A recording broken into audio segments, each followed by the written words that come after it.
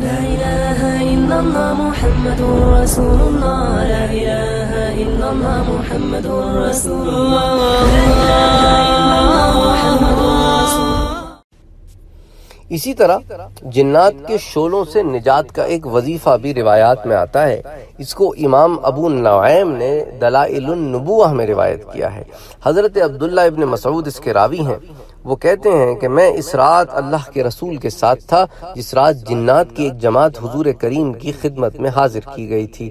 جنات کی ایک جماعت آگ کا شولہ لیے ہوئے اللہ کے رسول پر حملہ کرنے آئی تو آپ کی خدمت میں حضرت جبرائیل علیہ السلام حاضر ہوئے اور عرض کیا کہ یا رسول اللہ، کیا وہ کلمات نہ بتا دوں کہ جب آپ ان کو پڑھیں تو ان کا شولہ بجھ جائے گا اور وہ ناک کے بل گر جائیں گے۔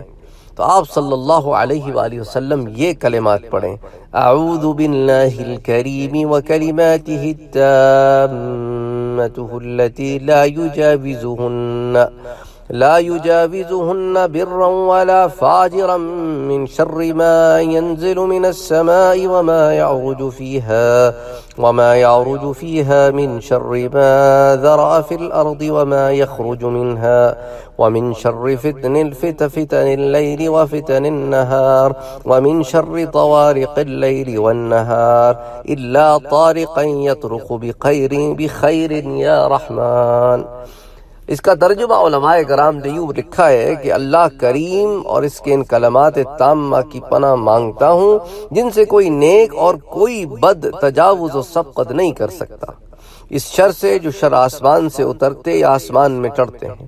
اور زمین میں ہر داخل ہونے والے اور نکلنے والے شر سے رات اور دن کے فتنوں کے شر سے اور رات اور دن کے چوروں کے شر سے، مگر بھلائی لانے والے کی بھلائی سے۔ اے بڑی رحمت والے اللہ، تو بڑا خوبصورت وظیفہ ہے۔ شیطان کے شولے سے نجات کا، اس کو امام ابو نعیم نے دلائل النبوہ میں نقل کیا ہے۔